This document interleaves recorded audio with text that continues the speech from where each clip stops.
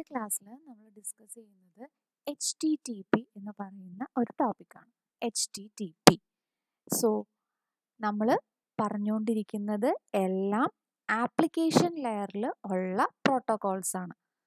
So application ലെയറിലുള്ള one of the protocol ആണ് H T T P എന്ന് പറയുന്നത്.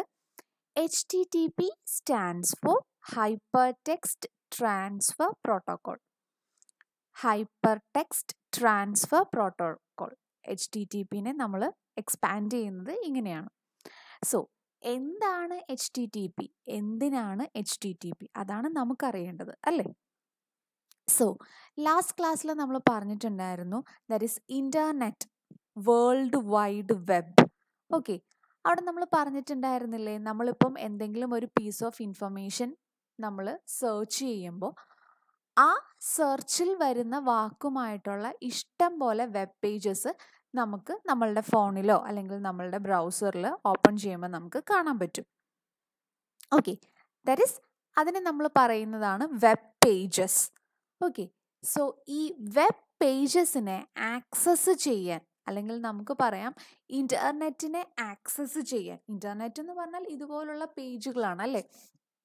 ധാരാളം വെബ്സൈറ്റ്സും അല്ലെങ്കിൽ ഈ പറയുന്ന പോലെ ഓരോരോ പേജുകളും ഒക്കെയാണ്. സോ ഈ ഇന്റർനെറ്റിനെ ആക്സസ് ചെയ്യാൻ വേണ്ടി നമ്മൾ യൂസ് ചെയ്യുന്ന പ്രോട്ടോക്കോളാണ് എച്ച് ടി ടി പി എന്ന് പറയുന്നത്. Okay so H T T P protocol വെച്ചിട്ട് നമുക്ക് പ്ലെയിൻ ടെക്സ്റ്റുകൾ അതുപോലെ തന്നെ ഹൈപ്പർ ടെക്സ്റ്റുകൾ അതുപോലെ ഓഡിയോ വീഡിയോ അങ്ങനെയുള്ള കാര്യങ്ങളെല്ലാം നമുക്ക് ട്രാൻസ്ഫർ നമുക്ക് കാണാനായിട്ട് പറ്റും. ഇപ്പോൾ നിങ്ങൾ ആലോചിച്ച് നോക്ക്. ഇപ്പോൾ ഈ എച്ച് ടി ടി പി എന്നുള്ള കോൺസെപ്റ്റിലേക്ക് ഒന്നും പോകണ്ട നിങ്ങളൊന്ന് ആലോചിച്ച് നോക്ക്. ഇപ്പോൾ നിങ്ങൾ നെറ്റ്വർക്ക് എന്ന് പറഞ്ഞിട്ട് നിങ്ങളുടെ ഫോണിന്റെ ബ്രൗസർ ഓപ്പൺ ചെയ്തിട്ട് ടൈപ്പ് ചെയ്യണം. അങ്ങനെ നിങ്ങൾ ടൈപ്പ് ചെയ്ത് കഴിയുമ്പോൾ നിങ്ങൾക്കറിയാം ധാരാളം വെബ് പേജിന്റെ ലിങ്കുകളായിരിക്കും നമുക്ക് കിട്ടുന്നത്. അപ്പം നമ്മൾ എന്ത് ചെയ്യും ഏതെങ്കിലും ഒരു സൈറ്റിൽ നമ്മൾ ക്ലിക്ക് ചെയ്യും. ഉടനെ നമ്മൾ ആ പേജിലേക്ക് ലോഞ്ച് ആവും. അവിടെ ചെല്ലുമ്പോൾ നമുക്ക് എന്തൊക്കെ കാണാൻ പറ്റും? അവിടെ നമുക്ക് ധാരാളം ടെക്സ്റ്റ് ദാറ്റ് ഈസ് ഇഷ്ടം പോലെ കണ്ടന്റ് അവിടെ എഴുതി വെച്ചിട്ടുണ്ടാകും. സംടൈംസ് ആ കണ്ടന്റിന്റെ കൂടെ തന്നെ ഹൈപ്പർ ടെക്സ്റ്റുകൾ ഉണ്ടാവും. ഹൈപ്പർ ടെക്സ്റ്റ് എന്ന് പറഞ്ഞാൽ എന്താണ്? അതായത് ചില വെബ് പേജുകൾ നിങ്ങൾ കണ്ടിട്ടില്ലേ? അതിൽ ക്ലിക്ക് ഇപ്പോൾ ചില വാക്കുകൾ ഇങ്ങനെ അണ്ടർലൈൻ ചെയ്ത് വെച്ചിട്ടുണ്ടാവും. അല്ലെങ്കിൽ ഒരു ഇറ്റ്സ് ലൈക്ക് എ ലിങ്ക് അതിൽ ക്ലിക്ക് ചെയ്താൽ നമ്മൾ ആ പേജിൽ നിന്നും അടുത്ത പേജിലേക്ക് പോകും. അതിനെയാണ് നമ്മൾ ഹൈപ്പർ ടെക്സ്റ്റ് എന്ന് പറയുക പിന്നെ നമ്മൾ ലോഞ്ച് ആയിട്ട് നിൽക്കുന്ന പേജിൽ തന്നെ ഒരു പക്ഷേ ഓഡിയോസ് ഉണ്ടാവാം വീഡിയോസ് ഉണ്ടാവാം എല്ലാം ഉണ്ടാവാം. So H T T P പ്രോട്ടോക്കോളാണ് ഈ പറയുന്ന ടെക്സ്റ്റും അതുപോലെ ദറ്റ് ഈസ് വാട്ട് എവർ ഇന്റർനെറ്റിൽ എന്തൊക്കെയുണ്ടോ അതൊക്കെ നമ്മളെ വ്യൂ ചെയ്യാൻ നമ്മളെ ഹെൽപ്പ് ചെയ്യുന്ന അല്ലെങ്കിൽ നമുക്ക് ആക്സസ് ചെയ്യാൻ നമ്മളെ ഹെൽപ്പ് ചെയ്യുന്ന പ്രോട്ടോക്കോളാണ് എച്ച് ടി ടി പി എന്ന് പറയുന്നത്. Then H T T P is also is known as hyper text transfer protocol. എന്തുകൊണ്ടാണ് ഇങ്ങനത്തെ ഒരു പേര് വന്നതെന്ന് ചോദിച്ചാൽ ഇപ്പോൾ ഓൾറെഡി ഞാൻ പറഞ്ഞു. നമ്മളിപ്പോൾ നമ്മളുടെ ആവശ്യത്തിന് വേണ്ടി ഒരു വെബ് പേജിലിരുന്ന് നമ്മളുടെ കണ്ടന്റ് വായിച്ചുകൊണ്ടിരിക്കുകയാണ് സം ടൈംസ് അവിടെ ചിലപ്പോൾ ചില ലിങ്കുകൾ ഉണ്ടാവും ആ ലിങ്ക് ക്ലിക്ക് ചെയ്താൽ തന്നെ നമ്മൾ വേറൊരു പേജിലേക്ക് ഫോർവേഡായി പോകും. അപ്പോൾ എന്താണ്? ഒരു പേജിൽ നിന്നും വേറൊരു പേജിലേക്ക് നമ്മൾ റാപ്പിഡായിട്ട് ജമ്പ് ചെയ്ത് പോകുവാണ്. ഇല്ലേ? From one document to another so അതുകൊണ്ടാണ് ഇതിനെ ഹൈപ്പർ ടെക്സ്റ്റ് ട്രാൻസ്ഫർ പ്രോട്ടോക്കോൾ എന്ന് പറയുന്നത്. മനസ്സിലായോ? ആ ഹൈപ്പർ ടെക്സ്റ്റിന്റെ പ്രസൻസ് ആണ് ഇതിന് ഈ പറയുന്ന പേര് വരാനുള്ള കാരണം. ഇനി എച്ച് ടി ടി പി എന്ന് പറയുന്നത് നമ്മൾ നേരത്തെ പഠിച്ച എഫ് ടി പി ആയിട്ടും സിമിലർ ആണ്. അതുപോലെ തന്നെ എസ് എം ടി പി ആയിട്ടും സിമിലർ ആണ്. സോ എഫ് ടി പി നമുക്കറിയാം ഫയൽ ട്രാൻസ്ഫർ പ്രോട്ടോക്കോളാണ് സോ ഒരു ഫയലിനെ ഓവർ ഇന്റർനെറ്റ് നമുക്ക് ട്രാൻസ്ഫർ ചെയ്യണമെങ്കിൽ നമുക്ക് എഫ് ടി പി എന്നുള്ള പ്രോട്ടോക്കോളും യൂസ് ചെയ്യാവുന്നതാണ്. അതുപോലെ തന്നെ നമുക്ക് എച്ച് ടി ടി പിനെയും യൂസ് ചെയ്യാം. പക്ഷേ ഡിഫറൻസ് എന്താണെന്ന് ചോദിച്ചാൽ നമ്മൾ പഠിച്ചിട്ടുണ്ടായിരുന്നു എഫ് ടി പിയിൽ രണ്ട് കണക്ഷൻസ് ഉണ്ട്. അതായത് ഒരു ഡേറ്റ കണക്ഷനും ഉണ്ട്. അതുപോലെ തന്നെ ഒരു കൺട്രോൾ കണക്ഷനും ഉണ്ട്. നമ്മൾ പറഞ്ഞിരുന്നു ഡേറ്റ പോകണം എന്നുണ്ടെങ്കിൽ ഫസ്റ്റ് ഓഫ് ഓൾ അവിടെ കൺട്രോൾ കണക്ഷൻ എസ്റ്റാബ്ലിഷ് ആയിരിക്കണം എന്ന് നമ്മൾ പറഞ്ഞിട്ടുണ്ടായിരുന്നു. പക്ഷേ എച്ച് ടി ടി പിയിലാണെങ്കിൽ ഡേറ്റ കണക്ഷൻ മാത്രമേ ഉള്ളൂ കൺട്രോൾ കണക്ഷൻ ഇല്ല.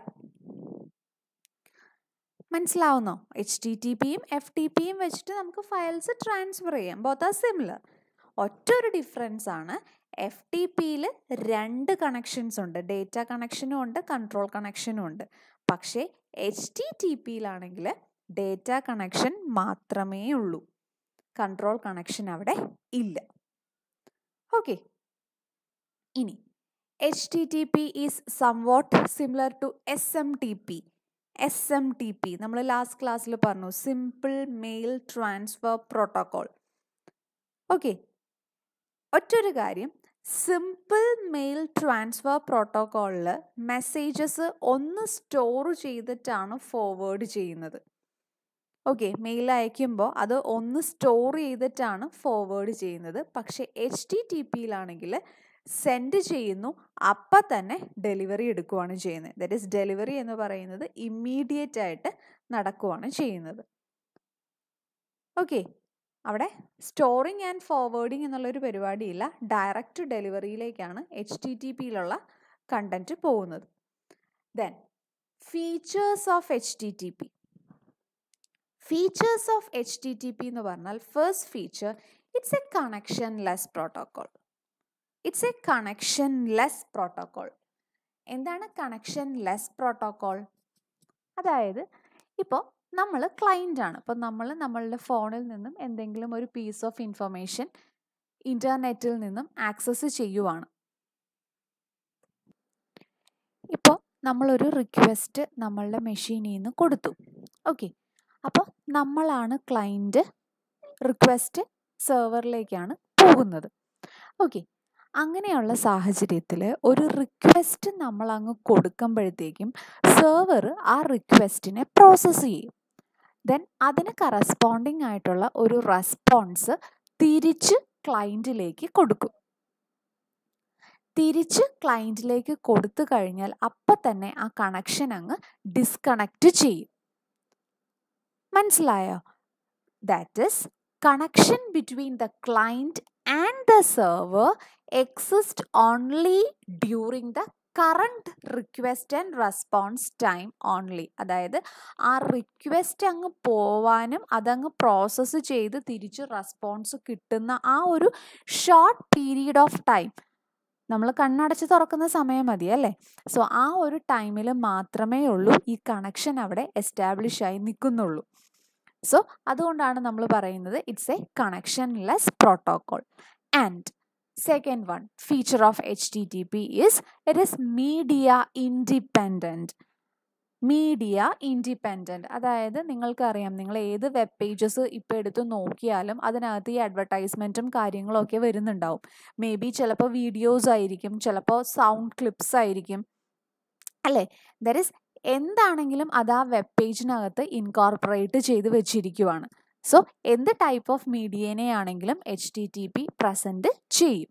Okay so that is media independent ഈ അഡ്വർടൈസ്മെന്റ് കാണുന്നത് മാത്രമല്ല കേട്ടോ. ഇപ്പം നമ്മൾ ഡയറക്റ്റ് വീഡിയോസും ഒക്കെ പ്ലേ ചെയ്യുന്നതും ഈ എച്ച് ടി ടി പിയുടെ ഹെൽപ്പോട് കൂടി തന്നെയാണ്. Then next H T T P is stateless H T T P is stateless എന്ന് പറഞ്ഞാൽ എന്താണ്? നമ്മൾ ഓൾറെഡി പറഞ്ഞു ഇത്. അതായത് ക്ലയന്റിൽ നിന്നും സെർവറിലേക്ക് ഒരു റിക്വസ്റ്റ് പോകുന്നു. റിക്വസ്റ്റ് ഉടനെ സെർവർ പ്രോസസ്സ് ചെയ്ത് തിരിച്ചു റെസ്പോൺസ് കൊടുക്കുന്നു. ഓക്കെ ആ റെസ്പോൺസ് കൊടുത്തു കഴിഞ്ഞാൽ പിന്നെ അവിടെ വേറെ പ്രത്യേകിച്ച് ഇൻഫർമേഷൻസോ കാര്യങ്ങളോ ഒന്നും ആ വെബ് പേജിനെ കുറിച്ചുള്ള ഇൻഫർമേഷൻസ് ഒന്നും റീറ്റെയിൻ ചെയ്യുന്നില്ല. അതായത് അപ്പോൾ ഉള്ള കാര്യം അപ്പം അങ്ങ് കഴിഞ്ഞു. പിന്നെ അല്ലാതെ അതിന്റെ ബാക്കിയായിട്ട് എന്താണ് അതിന്റെ ഫോളോ അപ്പ് കാര്യങ്ങളെന്നൊന്നും ഒന്നും എച്ച് ടി ടി പി നോക്കില്ല. മനസ്സിലായോ? Due to this nature both client and server do not retain the information between various request of the web page that is ഇപ്പോൾ ഉള്ള കാര്യം ആ സ്പോട്ടിൽ തീർന്നു. പിന്നീടുള്ള കാര്യങ്ങൾ അത് ചെക്ക് ചെയ്യുന്നില്ല. സോ അതുകൊണ്ടാണ് പറയുന്നത് എച്ച് ടി ടി പി എന്നുള്ള പ്രോട്ടോക്കോൾ ഇത് ഒരു സ്റ്റേറ്റ്ലെസ് ആയിട്ടുള്ള സംഭവമാണ് എന്ന് പറയുന്നത്. Then how H T T P work അത് ഓൾറെഡി നമ്മൾ പറഞ്ഞതാണ് ലാസ്റ്റ് ക്ലാസ്സിൽ അതായത് എച്ച് ടി ടി പി എന്ന് പറഞ്ഞാൽ അല്ലെങ്കിൽ ഈ വേൾഡ് വൈഡ് വെബ് എന്ന് പറയുന്നത് അത് വർക്ക് ചെയ്യുന്നത് on the basis of this client server architecture ഒരു ക്ലയന്റ് സെർവർ ആർക്കിടെക്ചറിന്റെ ബേസിസിലാണ് H T T P work ചെയ്യുന്നത്. നമ്മളാണ് ക്ലയന്റ് അതായത് ഇപ്പം നമ്മൾ എന്ത് പീസ് ഓഫ് ഇൻഫർമേഷൻ ആണ് നമ്മൾ സെർച്ച് ചെയ്യുന്നത്. അപ്പോൾ നമ്മളാണ് ക്ലയന്റ് നമ്മൾ എന്താ ചെയ്യുക? നമ്മളുടെ ബ്രൗസർ ഓപ്പൺ ചെയ്യും. അല്ലേ? ക്രോമോ മൊസില്ല ഫയർഫോക്സോ ഏതെങ്കിലും ഒരെണ്ണം ഓപ്പൺ ചെയ്യും. ദെൻ അതിനകത്ത് നമുക്ക് വേണ്ടുന്ന ഇൻഫർമേഷൻ ടൈപ്പ് ചെയ്യും.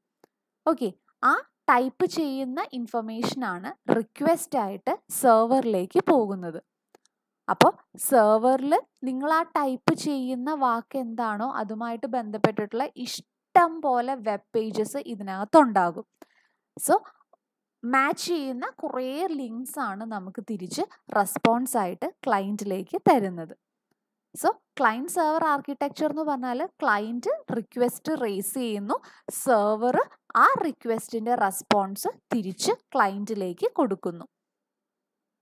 ഓക്കെ ദെൻ ഈ റിക്വസ്റ്റും റെസ്പോൺസും ആക്ച്വലി പറയുവാണെങ്കിൽ എച്ച് ടി ടി പിയുടെ രണ്ട് ടൈപ്പ് ഓഫ് മെസ്സേജ് ആണ്. ദാറ്റ് ഈസ് ഒന്ന് റിക്വസ്റ്റ് മെസ്സേജും ഒന്ന് റെസ്പോൺസ് മെസ്സേജും സോ റിക്വസ്റ്റ് മെസ്സേജ് എന്താണ്? റെസ്പോൺസ് മെസ്സേജ് എന്താണ്? അതിന്റെ ഒരു ഒരു ഇറ്റ്സ് ലൈക്ക് ഒരു ഡയഗ്രാം പോലെ കാണിക്കുന്നുണ്ട്. സോ റിക്വസ്റ്റ് മെസ്സേജിന്റെ ഒരു സ്ട്രക്ചർ എന്ന് പറയുന്നത് ഇങ്ങനെ ഇരിക്കും. ദാറ്റ് ഇസ് റിക്വസ്റ്റ് ലൈൻ ഉണ്ടായിരിക്കും. ഹെഡേഴ്സ് ഉണ്ടാവും. Then a blank line and the body that is എന്താണ് നിങ്ങളുടെ റിക്വസ്റ്റ് കണ്ടന്റ് എന്നുള്ളത് ഇവിടെ എഴുതിയിരിക്കും. ദെൻ റെസ്പോൺസ് മെസ്സേജ് ആണെങ്കിൽ നിങ്ങൾ ആ കൊടുക്കുന്ന റിക്വസ്റ്റിനോട് ഉള്ള സ്റ്റാറ്റസ് എന്താണ്? സെർച്ചിങ് ആണോ? അതാ ഇൻഫർമേഷൻ കൊടുത്തു എന്നാണോ? വാട്ട് ഇസ് അതാണ് ഈ സ്റ്റാറ്റസ് ലൈൻ കൊണ്ട് ഉദ്ദേശിക്കുന്നത്. സോ സ്റ്റാറ്റസ് ലൈൻ ഉണ്ടായിരിക്കും ഹെഡേഴ്സ് ഉണ്ടായിരിക്കും എഗെയിൻ ബ്ലാങ്ക് ലൈൻ ഉണ്ടായിരിക്കും ബോഡി ഉണ്ടായിരിക്കും. സോ റിക്വസ്റ്റ് മെസ്സേജും റെസ്പോൺസ് മെസ്സേജും സ്ട്രക്ചറലി നോക്കിയാൽ second third and fourth field same ആണ്. ഫസ്റ്റ് വൺ മാത്രം. റിക്വസ്റ്റ് മെസ്സേജിന് റിക്വസ്റ്റ് ലൈൻ ആണ് റെസ്പോൺസ് മെസ്സേജിന് സ്റ്റാറ്റസ് ലൈൻ ആയിരിക്കും ഓക്കെ. ഇത്രയും കാര്യങ്ങളാണ് നമ്മൾ എച്ച് ടി ടി പിയിൽ പറയുന്നത്. സോ ഡൗട്ട്സ് ഉണ്ടെങ്കിൽ ചോദിക്കാം കേട്ടോ